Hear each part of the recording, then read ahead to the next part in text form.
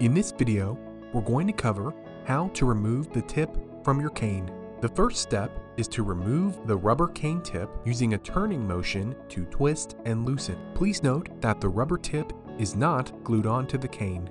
We recommend using a hair dryer to heat the rubber material and make it softer or use a heavy duty paper clip to break the suction between the tip and cane shaft while being mindful not to scratch the shaft. Try placing the cane on the floor and using your feet to anchor the tip in place while you twist the cane back and forth and then pulling up will usually do the trick. And now you know how to remove the tip from your cane. If you need help measuring your cane tip, please watch our How Do I Measure My Current Cane for a Replacement Tip video.